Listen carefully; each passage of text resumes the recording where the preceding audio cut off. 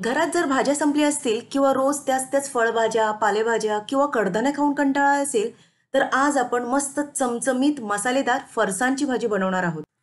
घरी अवेलेबल असलेला फरसाण किंवा तुमच्या आवडीचे गाठे आणि पापडे घालून सुद्धा तुम्ही ही भाजी बनवू शकता आणि चपाती भाकरी पाव किंवा ब्रेड सोबत सुद्धा खाऊ शकता.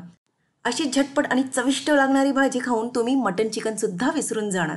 तर वेळ न घालवता चला सुरू करूया आजची रेसिपी नमस्कार मी भारती मात्रे सिम्पली स्वादिष्टमध्ये तुमचं स्वागत करत आहे.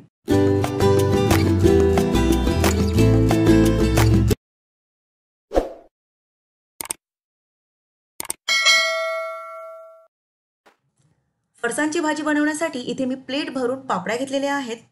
तुम्ही गाठे घेऊ शकता किंवा तुमच्याकडे मिसळचा फरसाण अवेलेबल असेल तर तुम्ही ते सुद्धा घेऊ शकता. पर्सनल चॉईस आहे. दोन चमचे सुकं खोबरं घ्यायचं आहे. सुकं खोबरं आधी भाजून घ्या आणि बारीक चिप्प्या करून त्या मिक्सरमध्ये ग्राइंड करा. यानंतर भाज्यांमध्ये आपण घेतलेला आहे एक मोठा कांदा बारीक चिरलेला किंवा दोन कांदे घेऊ शकता. दोन टमॅटो सात ते आठ लसणाच्या पाकळ्या एक इंच आलं एक हिरवी मिरची बारीक चिरलेली आणि बारीक चिरलेली कोथिंबीर. तर सर्वात आधी आपण पॅनमध्ये दोन ते तीन मोठी चमची तेल गरम करूया. तेल गरम होताच कढीपत्ता आणि हिरवी मिरचीची फोडणी देऊया. फोडणी चांगली तडतडली पाहिजे. आता आपण याच्यामध्ये बारीक चिरलेला कांदा घालूया. जसं मी सांगितलं तुम्ही एक मोठा कांदा घेऊ शकता किंवा दोन मिडियम साईजचे कांदे घेऊ शकता. जर तुम्हाला भाजीमध्ये मसाला खूप हवा आहे तर कांदा आणि टमॅटो जास्ती घेतलं तरीही चालेल. हे बघा कांदा हलकासा मऊ होईपर्यंत शिजवायचा आहे. त्यानंतर आपण याच्यामध्ये घालूया बारीक चिरलेला टमॅटो. टमॅटो सुद्धा मी एक मोठा घेतला होता. तुम्ही दोन मीडियम घेतले तरीही चालतील. आता टमॅटो आणि कांदा पूर्णपणे मऊ होईपर्यंत आपल्याला शिजवायचा आहे. तर त्याच्यासाठी झाकण देऊन मीडियम फ्लेमवर शिजवत ठेवा साधारण चार ते पाच मिनिटासाठी. हे बघा कांदा आणि टमॅटो चांगलाच मऊ पडलेला आहे. आता याच्यामध्ये आपण आलं आणि लसूण घालूया.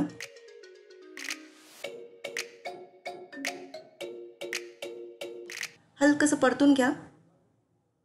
आणि आता टमॅटो आणि कांद्यामध्ये मिक्स करा. आता याच्यामध्ये आपण सर्व मसाले घालूया. तर मसाल्यांमध्ये फक्त अर्धा चमचा हळद घ्या. दोन चमचे भरून लाल तिखट. हा आगरी लाल मसाला पावडर आहे. तुमच्याकडे आगरी मसाला असेल तर आगरी मसाला घाला किंवा तुम्ही कुठचाही लाल तिखट घातलं तरीही चालेल. हा सिम्पली स्वादिष्ट स्पेशल आगरी मसाला आहे. आता याच्यामध्ये आपण घालूया एक चमचा धणा पावडर अर्धा छोटा चमचा जिरा पावडर आणि एक चमचा भरून पावभाजी मसाला.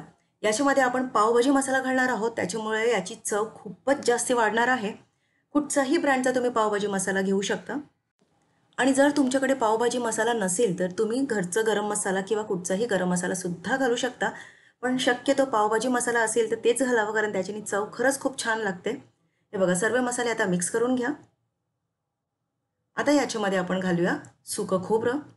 सुकं खोबरं या भाजीचं मेन इन्ग्रेडियंट आहे. या खोबऱ्यामुळेच याची चव वाढणार आहे त्याचा मसाला तयार होणार आहे. आणि सुकं खोबरं कसं बनवायचं हे बऱ्याचशा आगरी रेसिपीजमध्ये मी दाखवलेले आहेत. चेक करा. आता याच्यामध्ये आपण घालूया अर्धा कप पाणी. जेव्हा आपण मसाला मिक्स करतो तर हळूहळू ते कोरडं होत जातो आणि ते कोरडंपणा घालवण्यासाठीच आपल्याला थोडं थोडं याच्यामध्ये पाणी ओतायचं आहे. हे बघा. मसाला मिक्स करतानाच पाणी ॲब्झॉर्ब झालेला आहे. आता याच्यामध्ये आपण चवीपुरतं मीठ घालूया.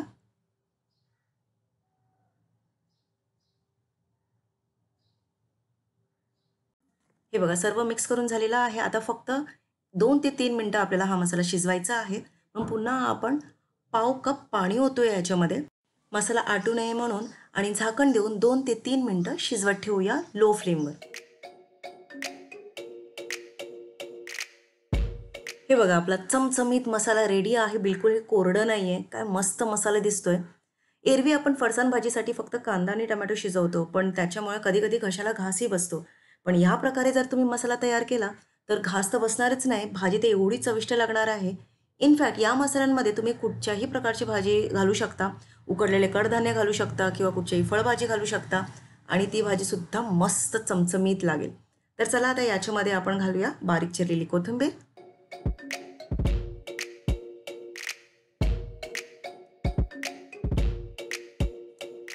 याच्यामध्ये आपण घालूया आपल्या पापड्या. पापड्या घातल्यानंतर मिक्स करा हलक्या हाताने. आता ह्या पापड्या खूप मोठ्या आहेत. तुम्ही हलक्या हाताने चुरून सुद्धा घालू शकता. किंवा असेच घातले तरीही चालतील. फक्त मिक्स करा. आता मिक्स केल्यानंतर फक्त आपल्याला दोन ते तीन मिनटं शिजवायचं आहे. म्हणून झाकण देऊन लो फ्लेमवर शिजवत ठेवा. दोन ते तीन मिनिटानंतर ही बघा आपली मस्त पापडी फरसाण भाजी रेडी आहे. या भाजीची अस्सल मजा जर तुम्हाला घ्यायची असेल तर गरमागरमच सर्व करा. तर चला आता आपण सर्व करूया. जसं मी तुम्हाला सांगितलं ही भाजी तुम्ही चपाती भाकरी ब्रेड किंवा पावसोबत सुद्धा खाऊ शकता. अतिशय चविष्ट लागते. आता फ्रीजमध्ये भाज्या असो किंवा नसो किंवा मटन चिकन खायची इच्छा होत असेल तर फक्त ह्या प्रकारची भाजी बनवा. खाऊन बघा सर्वांना खायला द्या. आणि आवडल्यास नक्कीच लाईक करा सबस्क्राईब करा आणि कमेंट आणि शेअर करायला विसरू नका आणि पाहत राहा सिम्पली स्वादिष्ट आणि हां इंस्टाग्राम फेसबुक आणि टिकटॉकवर सुद्धा फॉलो करा. त्याच्यावर सुद्धा खूप छान छान स्टोरीज व्हिडिओज आणि फोटोज अपलोड केले जातात. Thank you